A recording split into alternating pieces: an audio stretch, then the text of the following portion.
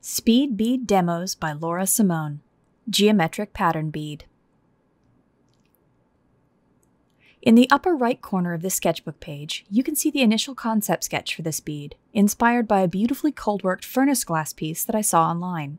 I loved the line and dot work intersections and the precise nature of the design, and I wanted to try and recreate it in a lampworked bead. My first attempt at this went terribly, but I ended up with a pretty neat bead in the end. I didn't record the failed attempt, but this is the end result. The issue was that I tried to do all of the line work first without having the dots to help establish where the line needed to curve around the body of the bead, and it went off the rails. I ended up just dragging the line pattern all around in swirls and adding dots on top. It's okay, but it's not what I wanted. So attempt number two, here we go. As prep, I pulled several very thin deep black stringers for line work and a thicker black stringer for dots. The thinner a stringer is, the harder it is to work with, as it tends to want to snap or ball up or burn away before it attaches to the surface of the bead. I started on the bead with a clear core to waste less color while adding mass, building up the basic shape I wanted in the end. This isn't always the best idea, as sometimes there can be a little variance in the coefficient between clear and color that could cause incompatibility later on. But since this was an experimental bead, I felt like it was the right way to go. Unfortunately, in my clear application, I also trapped a fairly large bubble that had to be picked out with my tungsten tweezers so it didn't surface later on, which could ruin the fancy design I had in mind. The next step was to encase the entire clear base end to end with a new Oracle color by Double Helix, a lovely soft mint or pale olive.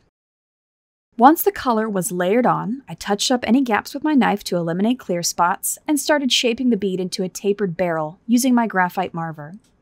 The Oracle colors are non-reactive and they don't shift or strike like other double helix glass, so I knew I could count on a solid base color to show off my fancy line work. No distractions needed here. My very first lines are added around either end of the barrel shape. I like having a visible end to the pattern on a bead. Each is looped around and straightened with the knife edge. I'm feeding them onto the bead using the underside of the flame so they don't melt in as soon as they touch the surface and can still be shifted and straightened with the knife. At this point I realize one end is slightly smaller and add a bit of extra base glass to extend it. Once the ends are shaped, I begin layering thin black lines along the length of the bead edge line to edge line. I start on opposite sides and then split the resulting halves twice to try and get the spacing right for six lines.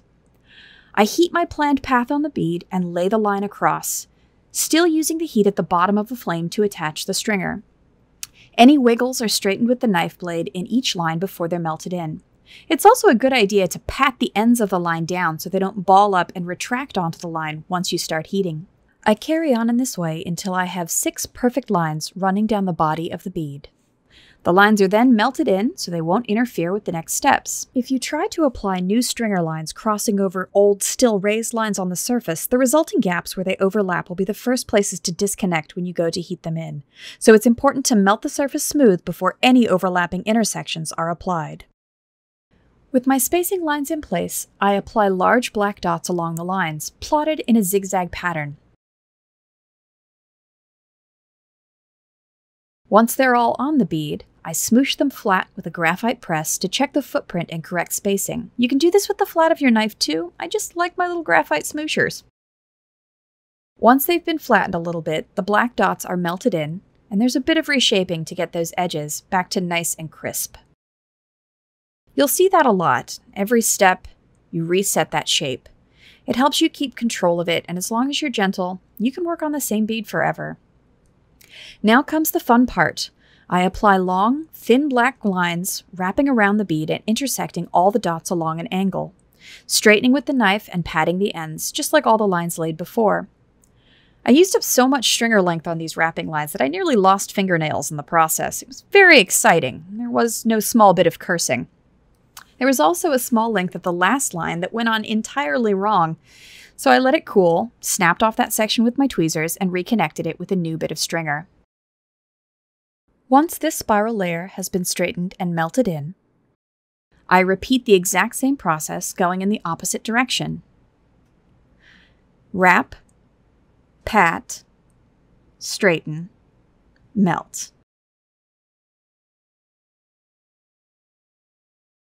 Again, heating, wrap, pat, straighten, and melt.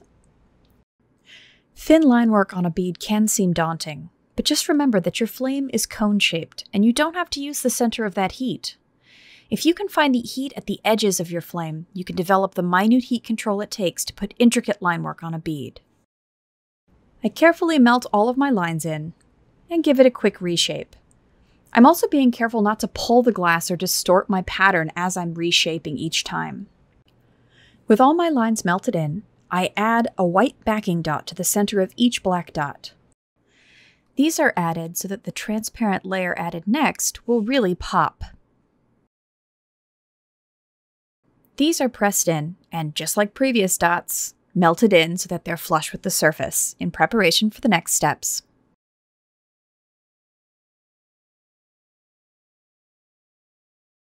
I took some extra time shaping at this point since the next layer will be left 3D, and I want to make sure that my edges are perfect and the shape is exactly where I want it to be before I move on with that last step. Once you've added 3D elements that you'd like to keep 3D, there's no going back to that marver. The final step is adding the transparent teal bubble dots onto each of the white backer dots. I applied these with a firm push to try and cover as much as I could, but I still pressed them lightly to get perfect coverage and make sure that they were all nice and even.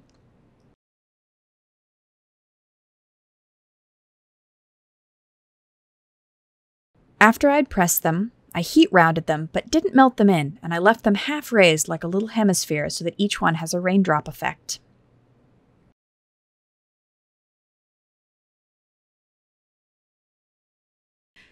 And here we have the final product, annealed and lovely. It turned out really nicely. Thank you for watching.